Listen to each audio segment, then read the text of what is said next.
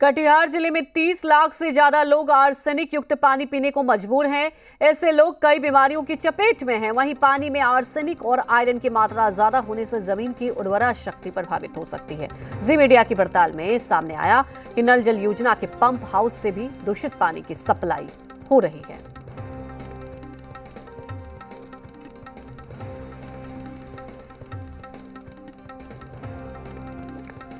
तो अलग अलग ज़िलों की टीम हमने भेजा और आपने देखा हमारे सहयोगी वहाँ पहुँचे, लोगों से भी जाना कि आपको क्या परेशानी हो रही है और किस तरह की परेशानी हो रही है।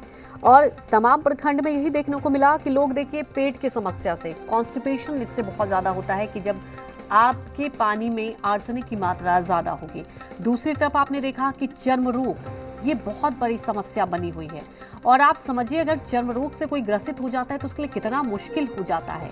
और जगह जगह हमने आपको दिखाया कि लोग के पास क्या करें, कोई दूसरा उपाय भी नहीं है। और आप ये समझिए, पानी तो कम से कम आपको अच्छा मिल पाए अगर आप स्वस्थ रहेंगे तो पानी उसके लिए कितना महत्व है, ये सब कोई बखूबी समझता है। लेकिन क्या होता है कि इस पर ना बातचीत होती है, न ऐसे मुद्दे को गंभीरता से लिया जाता है। और तस्वीर आपके टेलीविज़न स्क्रीन पर देखिए, जब पानी आ रहा है, आप देखिए पानी में कितना पीलापन है। तमाम महिलाओं की भी राय ली हमने, और उन्होंने भी यही कहा कि जब पानी रखते हैं, वो बर्तन में तो बर्तन पीला हो जाता है।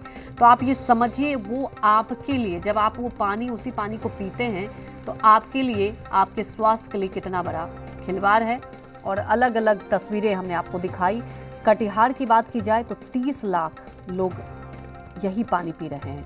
आर्सेनिक युक्त पानी पी रहे हैं और बीमारियों की चपेट में आ रहे हैं। सवाल उठता है, अगर बिहार सरकार की सबसे महत्वाकांक्षा योजना है तो नल जल योजना है। उसके बावजूद भी ये स्थिति है तो ये कई सवाल उठाते हैं।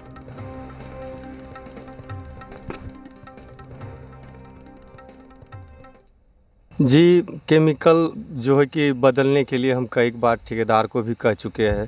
साल भर पहले जो केमिकल दिया, अभी केमिकल ख़त्म हो गया सर, गंदा भी लग रहा है। हमने ठेकेदार के ठेके मुंशी के माध्यम से ठेकेदार को भी खबर करवाया कि केमिकल बदल दे। केमिकल भी नहीं बदला, वही गंदा पानी, वही गंदा केमिकल अभी तक चला रहे हम तो ये कहना चाहेंगे जो जो आपका नीतीश सरकार जी जो जल, नल योजना के तहत विषय मतलब पॉइजनिक वाला पानी गंदा पानी जो पीने से बेबस हो रहा है इससे स्वस्थ लोग नहीं रहेंगे बीमार पड़ जाएँगे। और हमने देखा है नल योजना के जो ऑपरेटर होता है उसको बोले कि थोड़ा चला के दिखाओ। तो देखे तो आधा घंटा तक गंदा गंदा पानी निकल रहा था। पानी दूषित रहता है इसी के कारण से। क्या? बड़ी आबादी? बड़ी आबादी जो है कि पानी नहीं पी रही है बोलती है पानी गंदा रहता है इसीलिए नहीं पी रही है। इसीलिए मैं जी न्यूज़ को धन्यवाद देती हूँ, जिन्होंने एक मुहिम चला के दिखाया।